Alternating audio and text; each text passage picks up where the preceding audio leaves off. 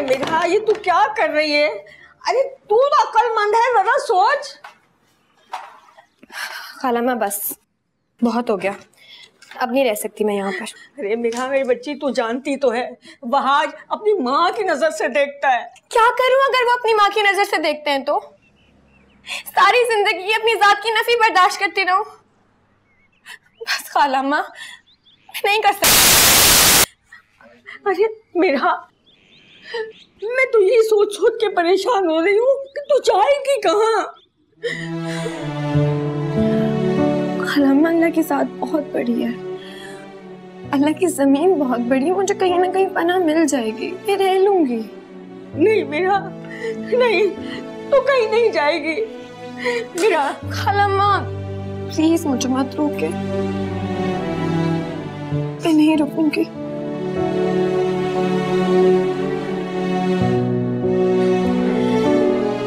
मेरे लिए बहुत दुआएँ कीजिएगा।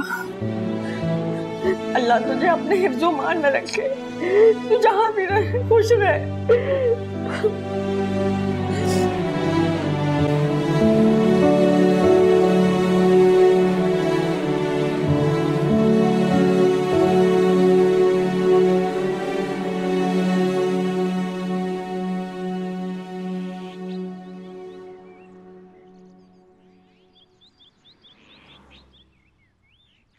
अच्छा।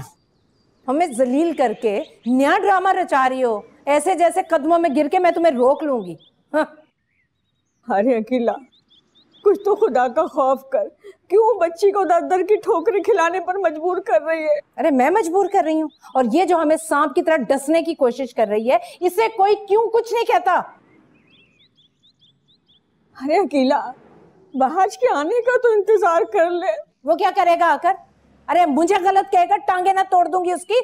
इन्हें बता दें खाला अम्मा, कि मैं मोहब्बत के सारे खोखले दावे इसी घर की दहलीज पर यहीं छोड़कर जा रही हूँ।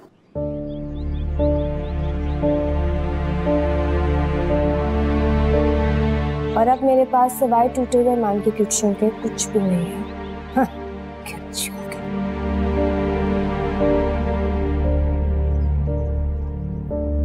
ना जाए ना मेरा ही आपके अलावा इस घर में मेरा कोई ख्याल नहीं रखता। कोई ख्याल नहीं रखता इधर आओ तुम रुको इधर।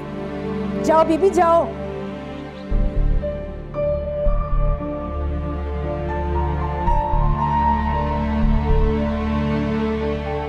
अरे रोक ले मेरा को। क्या रोक लूँ इसे मैं? देख नहीं रही? किस तरह से आँखें निकाल निकाल कर मुझसे बात कर रही है ये? बच्ची है। अरे रोक ले मुझे।